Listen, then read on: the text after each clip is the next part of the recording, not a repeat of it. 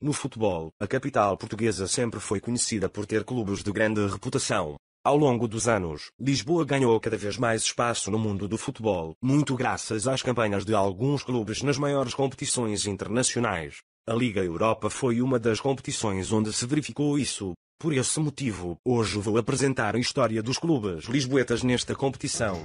O Belenenses foi o primeiro clube lisboeta a participar na Taça da UEFA, em 1973. Apesar do esforço, ficou logo na primeira fase, perdendo para o Wolves. Em 1975, o representante lisboeta foi o Sporting. Os Leões ultrapassaram com facilidade o Clube de Malta. No entanto, perderam na segunda fase para o Vazas. Na temporada seguinte, os pastéis tiveram o azar de calhar logo com um fortíssimo Barcelona, e em 1977 a 78, na mesma fase, o Bastia despachou o Sporting. Na época seguinte, o Benfica não superou o Borussia Mönchengladbach na segunda fase. Em 1979 a 80, as Águias não conseguiram ultrapassar o Ares na primeira fase, enquanto o Sporting alcançou a segunda fase, perdendo apenas para o Kaiserslautern. Em 1981 a 82, os Leões fizeram a maior goleada do torneio. Superaram depois o Southampton, perdendo na terceira fase para um clube suíço. Até aí, os clubes lisboetas não tinham registado grandes feitos na taça da UEFA. No entanto, tudo mudou na época 1982 ou 83. O Benfica apresentava um elenco muito forte e capaz de alcançar grandes lugares na competição.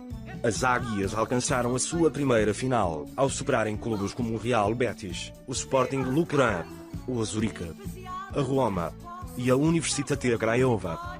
Depois, na final, o empate na luz não foi suficiente para o Benfica se livrar do vice na Taça UEFA. Os anos seguintes ficaram marcados pelas diversas tentativas do Sporting na competição, onde se deve fazer referência à campanha de 1985 a 86, onde ficou pelos quartos de final, depois de ser derrotado pelo Colónia. Até 1990, os clubes lisboetas não conseguiram efetuar campanhas de grande prestígio, ficando quase sempre pela segunda fase.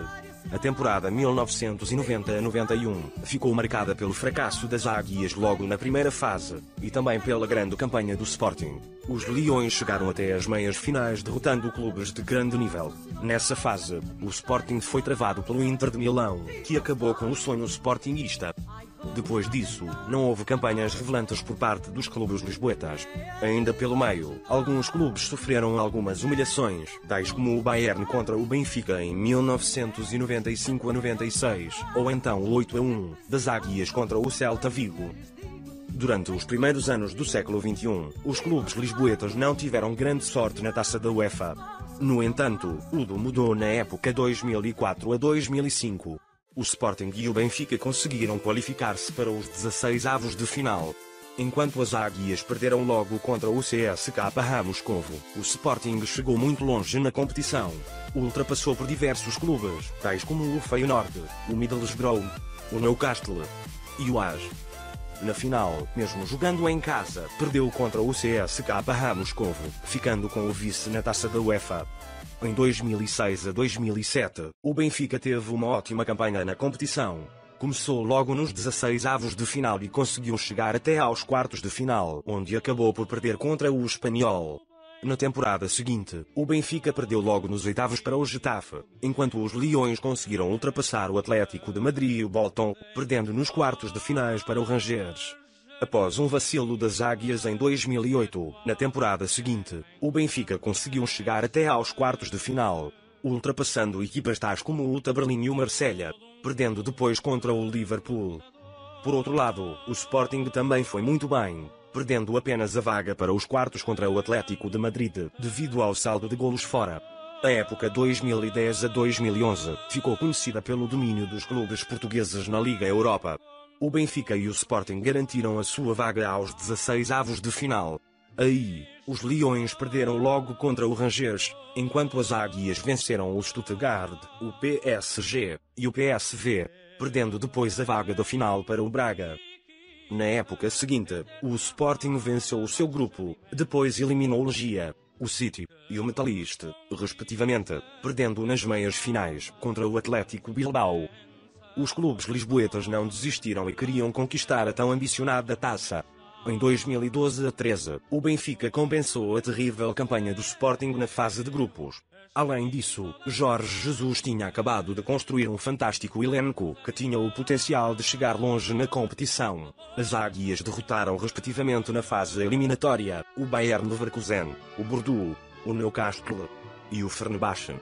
Na grande final, apesar do grande esforço, os benfiquistas perderam o título nos descontos da segunda parte para o clube inglês. Na época seguinte, as águias tentaram outra vez disputar o título da Liga Europa. Derrotou desta vez o PAOK, o Spurs, o AS e uma fortíssima Juventus nas meias finais. Novamente, na final, a decisão do título foi levada para penaltis, onde o Benfica foi prejudicado por conta de erros na arbitragem. A partir daí, os clubes lisboetas, especialmente o Benfica e o Sporting, não tiveram campanhas de grande relevância na competição. No entanto, é importante fazer referência à campanha do Sporting na época 2017 a 2018, onde o clube chegou aos quartos de final, perdendo para o Atlético de Madrid. Na temporada seguinte, o Benfica também conseguiu chegar aos quartos de final, onde perdeu, de forma polêmica, para o Frankfurt. Depois disso, os clubes lisboetas só conseguiram alcançar no máximo os 16 avos de final, fase que está muito abaixo do nível apresentado no passado por estes clubes. No momento em que este vídeo está a ser publicado, não existe certezas se vai haver algum clube que vai representar Lisboa na próxima época.